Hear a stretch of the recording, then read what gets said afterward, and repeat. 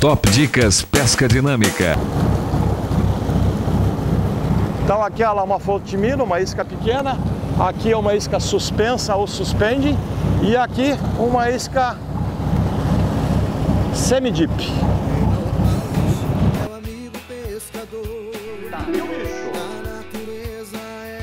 Aqui o bicho. Ó, gente, mar batido, um agito danado. Primeiro peixe. Vamos ver que isca que pegou.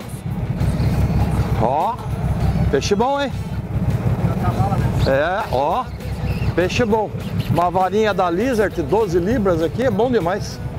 Ó, escação Fish Lures. E é bicho bom, hein? E vai dar pano pra manga. Vara, vara 12 libras, gente. Vara moderada pra semi-rápida. E olha o tempo que tá as ondas aí. Só nós mesmo pra pescar com esse tempo, hein, Ricardo?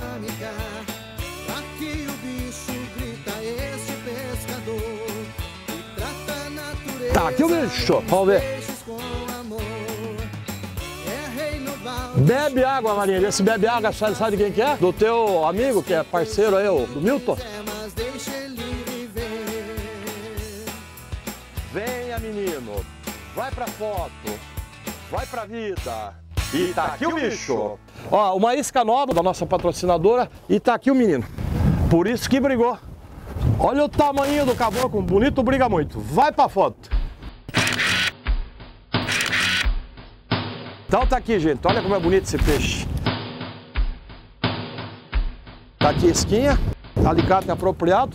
Gente, como eu falo, no mar não tem muito esse negócio de ficar alisando o peixe, não. E como tá chacoalhando muito, também não vai ter muito papo, não.